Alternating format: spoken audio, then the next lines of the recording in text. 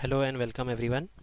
Today we will be discussing the topic dissociated vertical deviation which is one of the uh, types of inconcomitant vertical deviation.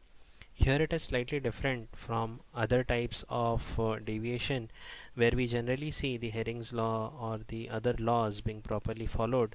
So here what happens that the patient will have an alternating hypertropia in both the eyes. So what happens if you see the patient in primary position when he's fixating with both the eyes have uh, no deviation almost less? What happens with the moment you will cover one eye the eye will go into an hyper deviation and the moment you will cover the other eye it will go into again a hyper deviation so generally what happens if one eye is hyper deviated the other should go into a hypodeviation. But here we see a dissociation present and both the eyes are going into a hyperdeviation so it is also known as alternating sursumduction, alternating hyperphoria, alternating hypertropia, alternating sursumvergence, occlusion hyperphoria, occlusion hypertropia or double hypertropia. So these names are given because the fact that when the patient is looking with both the eyes there is no deviation and when you cover one eye the eye will go into a hyperdeviation and when you remove the cover it comes into a normal position and when you cover the right eye it will again go into an hyperdeviation. And when removed it again comes to a normal deviation. So what is happening then alternately both the eyes are going into an hyperdeviation. That's why the name has been given alternating sursumduction or alternating hyperphoria or even alternating hypertropia. So there is a reason why it is called as dissociated because as per the laws which we know uh, in which the ocular motility is being postulated if one eye is into an hyperdeviated state and the moment you take the other eye into cover that should go into an hypodeviation. So but this is not what is happening in this case. In this case both the eyes are going into an hyperdeviation. That's why it is called as dissociated vertical deviation looking on to the etiology or the causes the causes are not yet very well developed or very well understood. So there have been many of the reasons or causes being given by different uh, scientists and different researchers and they have come up with these much of possible reasons. One of the reasons given by Bielschowsky is the positive and negative subcortical vertical divergence center. So what Bielschowsky says that the moment you try to fixate with the eye for the fixation generally there is an innervation coming to the uh, muscles of the inner your elevator muscles. So what happens? The elevator muscles are getting uh, innervations and to overcompensate it there is uh, again a contradictory innervation to the depressor muscle. But because the eye under cover is not getting any fixation clue so that will take the innervation from what the elevating muscles are getting and that will go into a state of hyperdeviation. Again there is a theory of imbalance in binocular stimulation which says that because there is a imbalance in the binocular stimuli which is being perceived by both the eyes that could also lead to a different amount of innervation given to both the eyes. Also there is again one more theory which says Brodsky's theory uh, which says that it is a vestigial dorsal light reflex which is present in the lower animal. So now this has been a remnant into humans as well. So many times what happens that the moment you cover one eye to get the fixation the eye will go into a hyper deviated state so that it can attend a fixation. Other theories are nothing but your theory of bilateral paralysis or paresis of the depressor muscle. What happens that when both the depressor muscles are uh, pares uh, paresis so just when both the eyes are open because of the fusion they are kept into the primary state. But the moment you will cover one eye fusion will break and the eye will go into a hyperdeviated state. And when you do alternately you will find that the elevation uh, is going in both the eyes.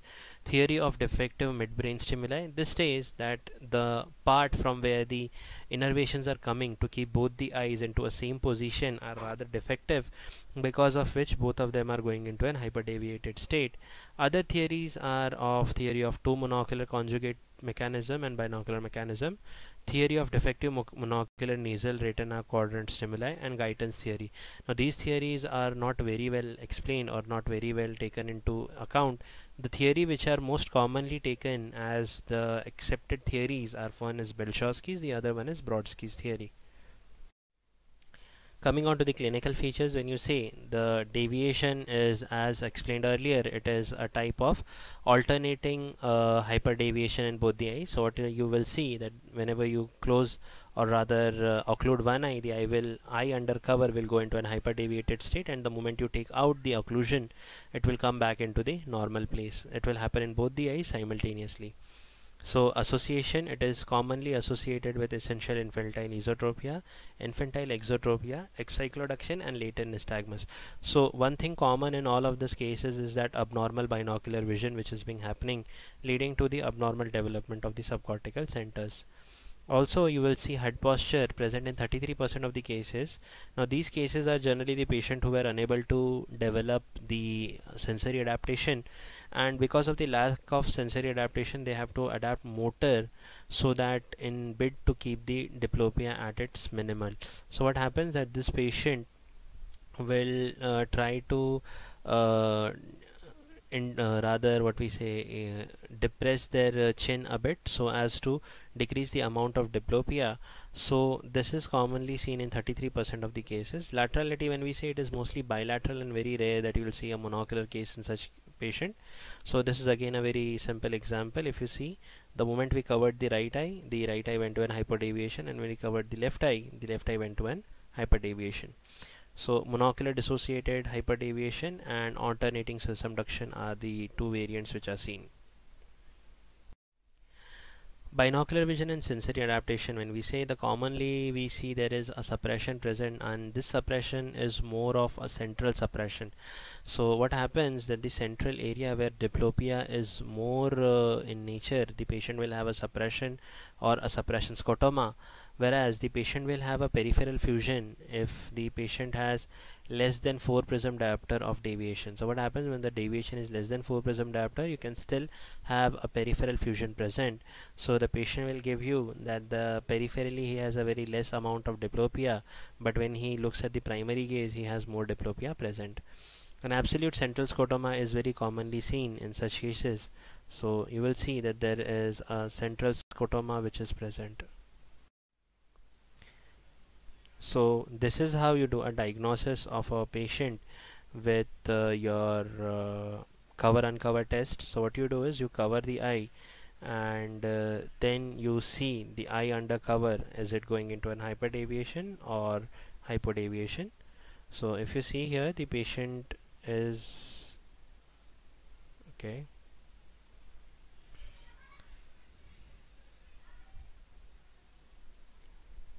so this is a cover uncover uh, test which is showing you how hypodeviation is happening. This is not exactly a dissociated vertical deviation. So generally we do a uh, cover uncover test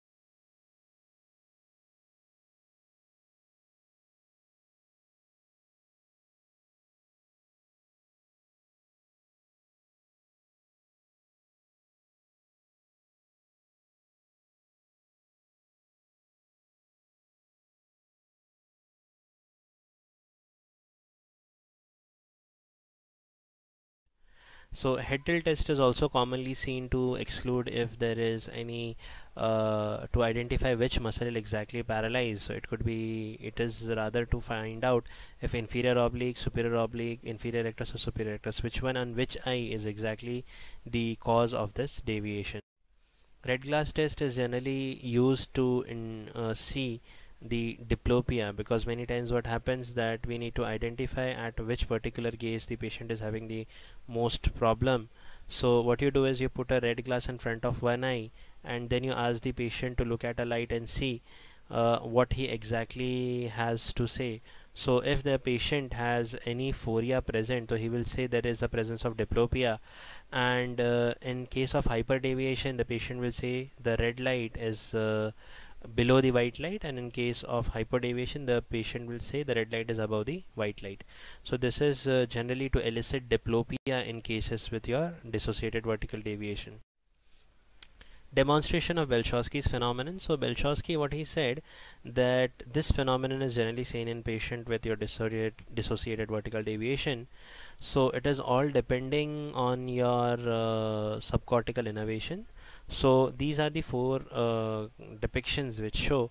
So when you occlude the eye the patient will have an hyperdeviation. As we commonly see uh, in your dissociated vertical deviation but the moment you will cover that eye with a neutral density filter what will happen? Because of the neutral density filter the amount of light coming to the eye will get reduced.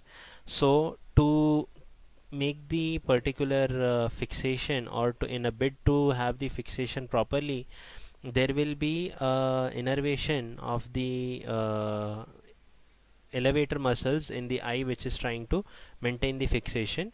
At the same time also there will be innervation to the inferior uh, or the depressing muscle to keep the eye into a straight position.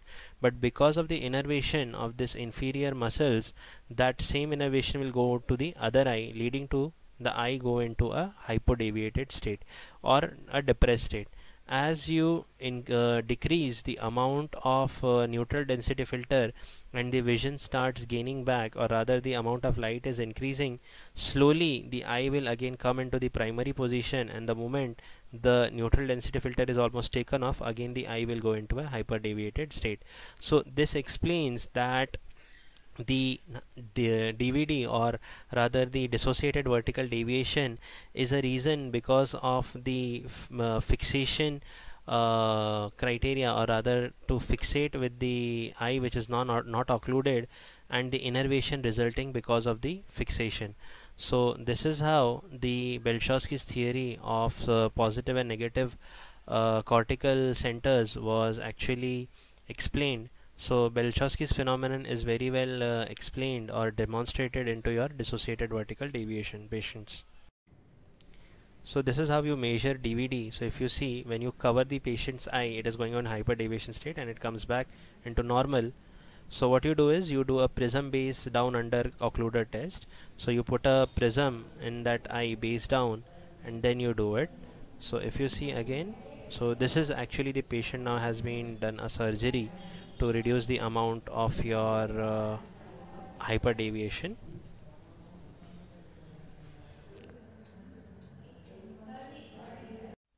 So differential diagnosis when we say how do we differentially diagnose with an inferior oblique overaction and associated vertical deviation.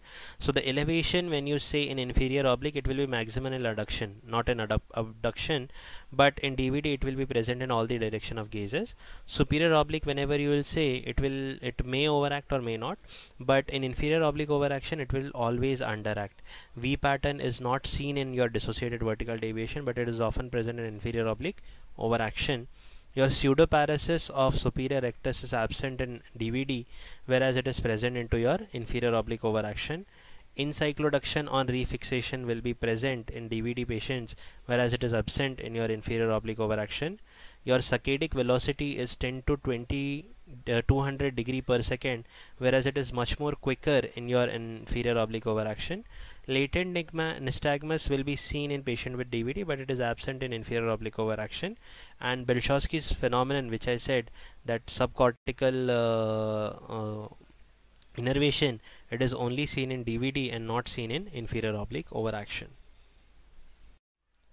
So treatment when we say the treatment of this is your non-surgical you can only ask the patient to change fixation pattern or by patching the eye one eye which is affected uh, which can be done either by optical means or by contact lenses or it could be a surgical treatment where you can do a resect or recess surgery of the superior rectus. So one operation is called as the Faden's operation with superior rectus recession and the other one is a large recession or loosening of the superior rectus muscle.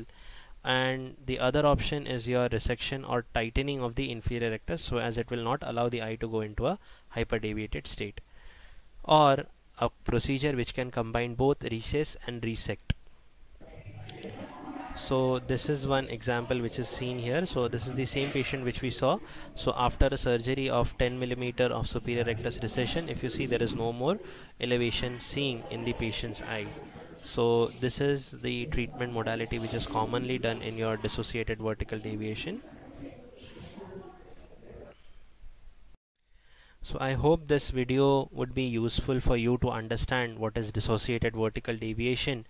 Uh, its uh, clinical characteristics its measurement and how it is being treated. For more videos onto binocular vision please follow our channel uh, optometry with Tarik and thank you for your patient listening. We'll be back soon with more videos onto lectures of binocular vision. Thank you and goodbye